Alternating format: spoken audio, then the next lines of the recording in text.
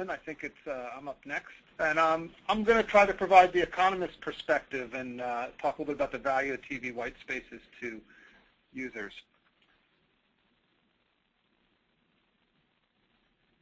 There we go.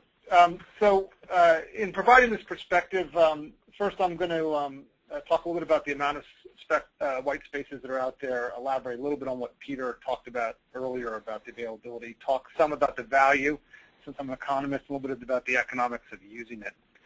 The first point I wanted to make here about existing unlicensed uh, allocations, P Peter talked about some of them, is to say that um, there's quite a few unlicensed bands already out there um, on the one hand, but on the other hand, uh, none of them are like the TV white spaces. Uh, these are all, these major allocations are all higher in frequency, so they have different propagation characteristics.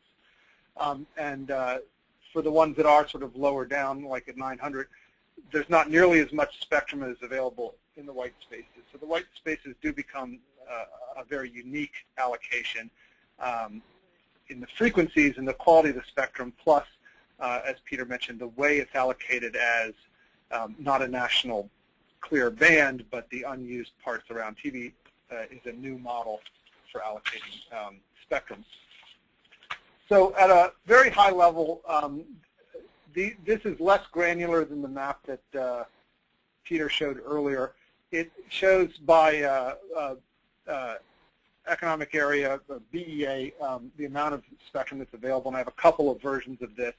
Uh, the, the thing to say is that this is a very conservative estimate of the availability of white spaces. It, uh, it blocks off all adjacent channel um, uh, protections and leaves a, a uh, much less white space than probably is actually going to be available at the end of the day. But um, just to give you an idea, uh, th this shows it on a megahertz pop basis, so this is averaged across the areas based on the sort of average availability of the amount of total spectrum by population that's available. The, the lightest colored spaces are, you know, under 10%.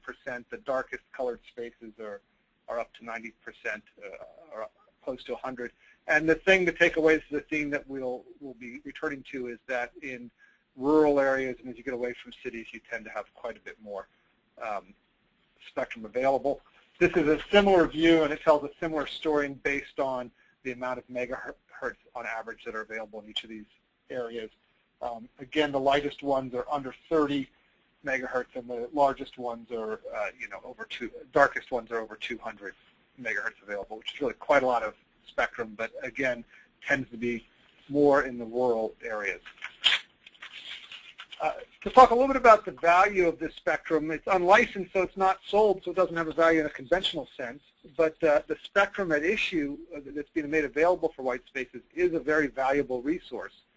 Um, and uh, I use here to illustrate that value of uh, the uh, of the spectrum that's being made available, the value that um, the E-block in the 700 megahertz auction sold for. I use the E-block as a comparable because it uh, is unpaired and uh, it is TV band spectrum. It's just above in frequency where uh, where the white spaces are. It comes out of the uh, channels 53 to. It was in the in the channels in the 50s. Um, and this is just meant to give sort of rough justice to the value numbers. It's not a, a, a specific valuation of any particular frequencies.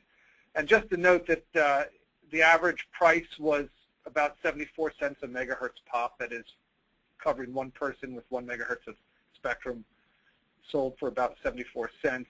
You can see using that valuation for the white spaces uh, creates shows that it's worth almost $14 billion. So it's really quite a lot of value of spectrum. If you had to buy it at auction, it would be a very, uh, a very expensive proposition. You'll note that the average value of the white space is a little bit less, and that uh, is reflective, again, of the fact that there's more frequencies available in rural areas, um, which are less expensive. And although it's an average of about 55 cents, there's quite a lot of variation um, in, in the value of spectrum that's being made available here. And this slide gets at that variation in value. The, the lightest colors are um, under 10 cents a megahertz pop. So in rural areas, uh, when spectrum is sold, uh, because there's a lot available and less demand, its price is much lower. Um, and in some areas in this auction, it was uh, pennies a megahertz pop.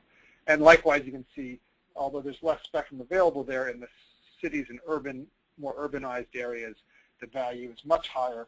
Um, and on this map, the darkest, uh, the darkest colors, greens, are, are up well over a dollar.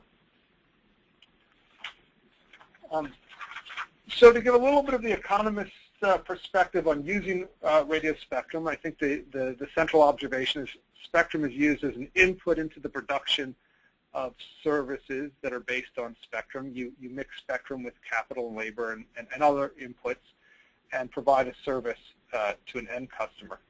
And the central economic insight, if you remember back to your Econ 1 classes, is that you're going to use any input in production, including radio spectrum, up to the point where the added value of using one more unit of it will just equal the added cost of that additional unit. So you will, um, for, and you can trade that off between the different inputs that you use in the production process. So in the example of a cellular network, for any given increase in capacity that you require, you can either add radio spectrum to it, or you can add capital to the network by subdividing your cells and increasing your capacity. Uh, and economically, you want to, um, on the margin, be indifferent between all of those different ways of increasing your capacity or, or equivalently reducing your costs. So to take that insight to the world of white spaces, the good news is that um, unlicensed white spaces is free spectrum. And that means that you're going to use more of it than if you were paying for it. You would be able to use it up to the point where adding more to your network uh, doesn't add any value, doesn't create any additional revenues or, or reduce any costs at all. And if that allows you to use less capital as a trade-off, um, that's a that's a significant cost savings for you, and, and all the better. The uh, the one caveat um, is, uh, as Peter mentioned, is that in an unlicensed environment, um, you have no, unlike in a licensed environment, you have no protection from interference. So you have to make sure that your business model is one that um, is appropriate for this environment. The bad news for white spaces is also that spectrum is free. Um, and this means that other people in the uh, uh, in your neighborhood are also going to be using more of it, um, uh, up to the point where where no more where they're unable to benefit from using more.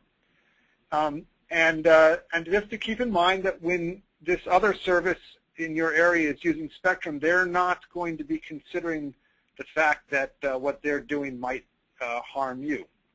So you have to, again, I want to emphasize this point, uh, you have to have a business model that allows you to operate successfully um, in an, in an environment that has uh, the potential for interference.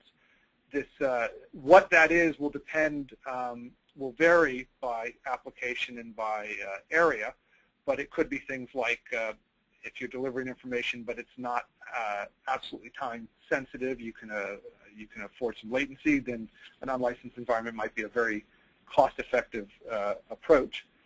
The two things I want to talk about is, is is the, the, the being able to tolerate interference and then also in areas where uh, there's an abundance of white space um, so that you would expect to have to have less interference. Those are sort of the two strategies to be successful in this environment.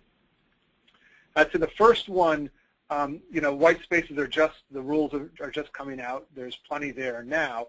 But if we look as an analogy to the Wi-Fi band, the 2.4 band, um, this is this is not the actual use of the band because there's no good measurement on it. This is a proxy for use, which is the number of devices per year that the FCC authorizes to be used in a band. So uh, it's not a one-to-one -one correlation uh, between devices being put on the market and the amount sold, but at least gives you an idea of the interest in the band.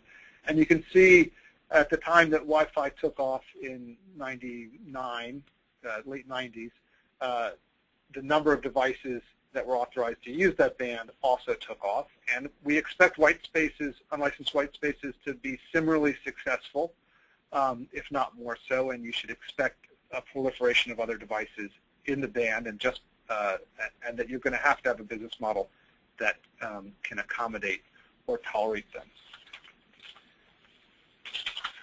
The other uh, good news that I wanted to say about white spaces, the other strategy is to go where there's um, less chance of interference. So in rural areas, as this indicates, um, I, this divides the, the country into um, uh, rural MS, uh, RSAs and metropolitan uh, MSAs. And as you can see, most of the population is in the urbanized areas. Um, and most of the uh, what I call covered population here. This is covered by the uh, TV stations. You could have called I could have called that the black spaces here. 79% um, of it in in the MSAs is covered, which leaves 21% for white space.